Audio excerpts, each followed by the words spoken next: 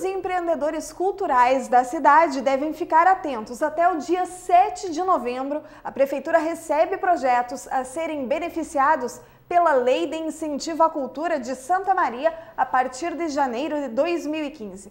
A Secretaria de Cultura, que gerencia a ALIC, informa que estará disponível para captação em 2015 um total de R$ 1 milhão 234 mil reais entre valores de IPTU, ISSQN e também ITBI. Quem traz mais detalhes sobre a Lei de Incentivo à Cultura de Santa Maria é o Superintendente de Projetos da Cultura de Santa Maria, Luiz Fernando Nunes. O Dida, boa tarde, bem-vindo. Boa tarde, prazer estar aqui contigo e acho que nós vamos trazer alguns esclarecimentos melhores ainda aos empreendedores. Com né? certeza, Dida. Bom, primeiro, quais são os requisitos exigidos para os empreendedores culturais que querem inscrever os seus projetos na LIC de Santa Maria em 2015? Bom, a primeiro momento é necessário que eles se cadastrem. Existe um site da Prefeitura Municipal de Santa Maria, uh, onde é feito o cadastramento do, daquelas pessoas que têm algum interesse, pessoa física ou jurídica, uhum. que tem o um interesse e tem um certo conhecimento na área da cultura para elaborar a elaboração de algum projeto. Então eles entram no site da Prefeitura, na página da, da Secretaria de Cultura, uhum. e vai encontrar toda a documentação, porque CNPJ jurídica é uma coisa e o CPF, pessoa física, é outra. Uhum. Ali está toda a documentação. O que, que eles fazem? Eles olham, já gera um número no momento em que eles um entram. protocolo. Isso, um número para eles, já vai ser o número do empreendedor cultural. Uhum. E eles vão fazer a, a, juntada dessa documentação e levam à Secretaria de, de Cultura. Uhum.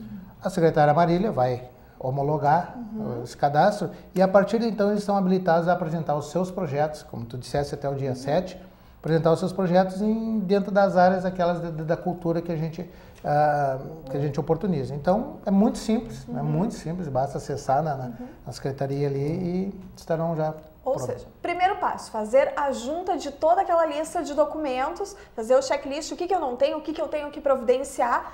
Quanto antes fizer isso, melhor, porque o prazo para inscrição do projeto, e tem que ser um empreendedor cadastrado, cadastrado para poder inscrever. Exatamente. Então, já junta, já tanto o empreendedor que já é cadastrado também tem que atualizar. O, o empreendedor que, que, é cadastrado, ele, ele uh, regulariza a sua situação. E normalmente uhum. são com essas certidões negativas que, uhum. que, que, a gente precisa, que né? tem que ser é, atualizadas. porque elas têm validade de um ano. Claro. Então, muitos desses é, que já estão cadastrados, uhum. uh, no momento que eles apresentarem os projetos, será dito, ah, tu tens que nos trazer tais e tais, mas já, este, já tem o, o número do cadastro, eles já estão habilitados. Tá né? certo. Então, Bom, e estando os empreendedores enquadrados nesses requisitos, em dia com as suas obrigações legais, tendo feito o cadastro corretamente ou a atualização do cadastro, quais são os requisitos sobre os projetos, Dida? Porque aí é que entra a dificuldade maior do empreendedor, principalmente aquele que nunca inscreveu um projeto e que está inscrevendo pela primeira vez. Ah, e o projeto dali que é difícil, eu não sei quais são as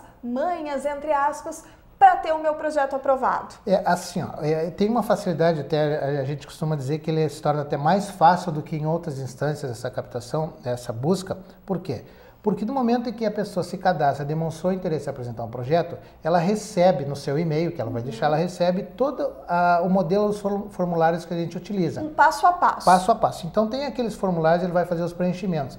Qualquer dúvida que tenham, eles fazem contato conosco. Existe um, um corpo técnico, a professora Márcia Rocha que, que também faz isso. Eu, uh, o Wagner, a gente analisa esse projeto que foi apresentado. Uhum. Todas as, as, alterações que tiverem uhum. sido feitas, uhum. a gente vai contatar com o empreendedor cultural, porque esse primeiro momento é de, de apresentação de projeto, para que uhum. nós vejamos se eles estão atendendo as Ou normas seja, técnicas. Detecta a falha técnica falha e técnica. tem uma oportunidade de correção. Tem um prazo para eles fazer isso, porque depois compete a nós encaminharmos a comissão normativa que vai fazer a análise, e aí sim.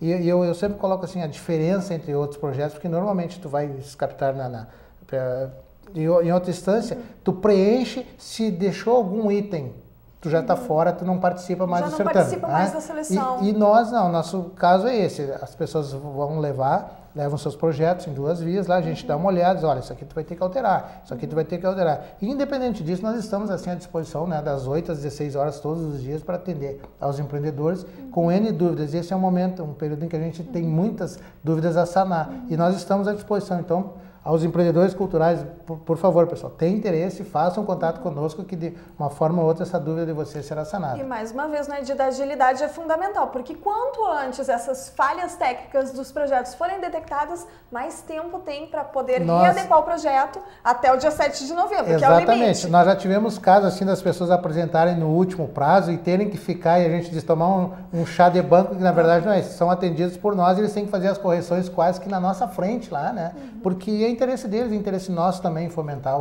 a cultura, nós não vamos colocar empecilho algum. Né? Então nós certeza. estamos aí para agilizar o processo, senão vamos trancar. Quais são as falhas mais comuns que os empreendedores cometem? Normal, tem um, uma planilha uh, orçamentária que é feita, uhum. né, em que a gente pede que uh, algumas rubricas elas precisam ser atendidas, ser observadas e basicamente são nos cálculos ali que são feitos. Uhum. Às vezes a pessoa uh, vai apresentar um projeto com um orçamento tal e aí no final não fecha aquilo, mas são detalhezinhos uhum. assim que é muito fácil de ser corrigido e a gente observa isso. É, nós temos mais trabalho na análise técnica uhum. agora do que propriamente na análise depois da, da comissão normativa. normativa. porque aí é interesse mais específico da, da, das áreas afins. Né? Então, Quais são as etapas de seleção dos projetos que ainda estão previstas, depois da, da inscrição e antes da divulgação da listagem final? É, nós temos aquele, o protocolo, a gente tem essa análise técnica, né? a gente tem a análise, de, que é a prova para o, integrar, é, entregar à comissão normativa. Uhum. E aí tem um período também que essa comissão normativa faz, que é do dia 10 até o dia 21 de novembro, uhum. nós estaremos fazendo análise técnica. Depois do dia 24 a 19 de dezembro, nós estaremos fazendo a, a, análise pela comissão normativa. Uhum. Então veja assim, ó, nós temos bastante tempo para fazer análise técnica e bastante tempo depois para os integrantes da comissão normativa fazerem. E aí a divulgação vai ocorrer lá em 22 de dezembro desses projetos aprovados. Né? Certo. Dida, como é que é o trabalho da comissão normativa? O que, que se leva em conta para aprovar um projeto ou deixá-lo de fora? É, normalmente assim, ó, nós, o que, que, como a gente transferiu, e não é transferência de responsabilidade, é porque a atribuição em si do Conselho Municipal de Cultura, ele vai indicar algumas pessoas dentro das áreas de música, de teatro, literatura, aquelas áreas que, que tem os projetos, de, uh, indica as pessoas e essas pessoas com notável saber, notável conhecimento da área, com atuação, eles fazem a análise. Basicamente, assim, tem um interesse público, uhum. né? a gente vê que é um, uma coisa abrangente, e que se realmente aquilo pode ser desenvolvido, aquele tipo de projeto. E claro que aí vai contar, normalmente, por exemplo, o pessoal da dança que vai analisar os projetos da área da dança, eles conhecem todo o meio, eles sabem como é que funciona. Então a gente tem um interesse, assim, alguns é, eventos inéditos também é interessante para que nós ah, possamos abrir condições de outras pessoas mais participarem, né? Mas a comissão normativa tem toda a autonomia e ela expede, daí, além daquilo que já consta na instrução normativa, uhum. ela expede alguns critérios ali que, que, eles vão se adequando. Mas é muito tranquilo, porque quem, quem já fez alguma vez sabe que né, é, realmente é atendido dentro das possibilidades do, do, do valor do recurso que a gente tem, mas a gente costuma buscar o maior número possível para para atender. E com toda essa, com todo esse auxílio prestado pela comissão técnica também, é justamente para fomentar a cultura no município. Porque nós, se nós formos parar para ver assim, ó, é, é, uma renúncia fiscal. Na verdade, o que, que, é isso? Isso é um dinheiro público, né? Uhum. É uma renúncia fiscal que a prefeitura está fazendo, esse valor considerável, e nós somos servidores públicos e, como diz, nós temos que servir ao público,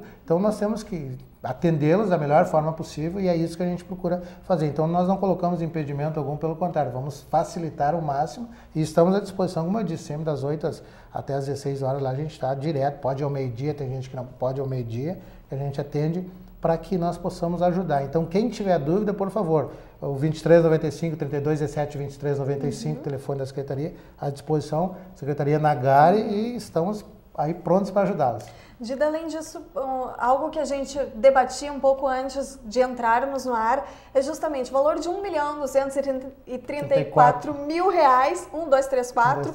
Ele pode contemplar até quantos projetos? Assim, ó, nós, nós pedimos e a gente coloca pela instrução normativa, ela fala que 7% do valor total disponibilizado. Bom, então esse, para esse ano é em torno de 86 mil reais uhum. que deve dar cada projeto.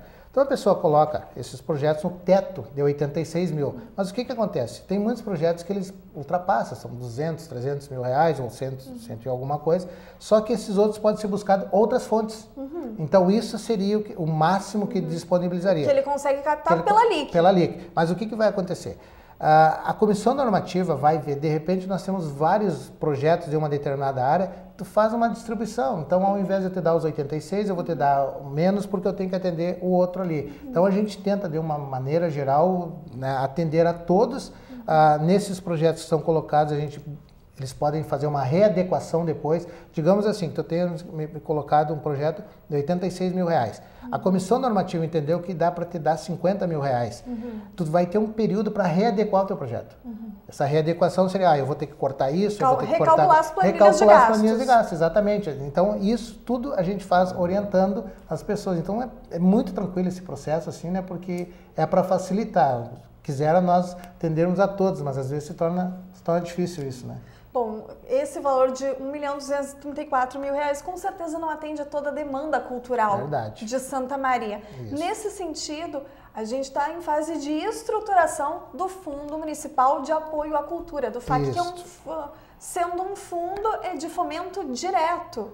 É, ele tem uma legislação, né? O fundo todo, o fundo ele vai possuir uma legislação própria, né? uhum. né? Que vai fazer, então, também... Só que aí é, é diferente, porque isso aqui é uma, é uma renúncia fiscal, uhum. é, um, é, um, recurso público que é uma renúncia fiscal, mas... Ou seja, ao invés o, de vir para o cofre é, da prefeitura, ele é devolvido... Devolvido para a comunidade o fundo seria projeto uma, cultural. O fundo seria uma situação diferente. Ele vai ter uma dotação, é, vai ter uma, uma dotação para aquilo e também não invalida de busca de outros recursos, de outras fontes para ser colocado. Inclusive a gente pensa, né, dentro da, da, da legislação, algum desses projetos que às vezes a gente habilita a captação de valores tais e não sejam totalmente uh, usados, eles são devolvidos aos cofres do município. Uhum. Que esse recurso, ao invés de entrar no cofre do município, que ele vá direto para o fundo. Uhum. Então são formas, há algumas, algum caso também, às vezes, de má apreciação de contas não, não ser muito boa, uh, esse dinheiro em sendo devolvido que ele vá para o fundo, mas isso precisa uma normatização, isso passa pela Câmara de Vereadores,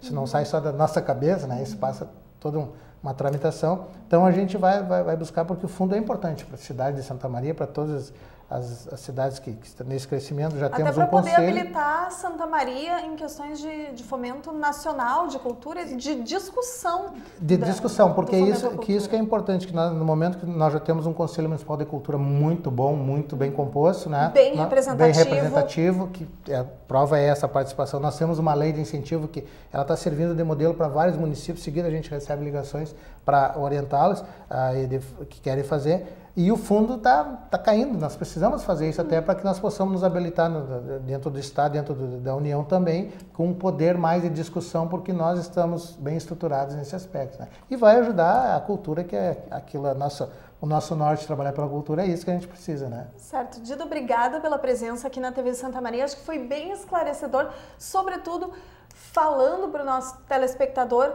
desse passo a passo de se inscrever como produtor como empreendedor cultural lá no site da prefeitura, se habilitar para conseguir inscrever o seu projeto, como realizar, se tem alguma falha técnica, a comissão está lá à disposição na Secretaria da Cultura para fazer, ajudar você a fazer a readequação do seu projeto, enfim, é justamente uma boa vontade expressa em fomentar a cultura no município. Parabéns e acho que em nome da, da comunidade a gente tem que dizer muito obrigada, porque Santa Maria leva o nome de Cidade Cultura e trabalhar justamente para empreender nessa área do município é merecido. Ah, obrigado né, pela oportunidade. A gente se coloca sempre à disposição, porque o nosso, nosso lema é a cultura e nós temos que. Servidores públicos trabalham para o público, estamos lá para isso. Tá né? certo. Muito obrigada, Obrigado. boa tarde. Obrigado. E aguardamos então a listagem dos projetos aprovados para a captação da Lei de Incentivo à Cultura de Santa Maria em 2015.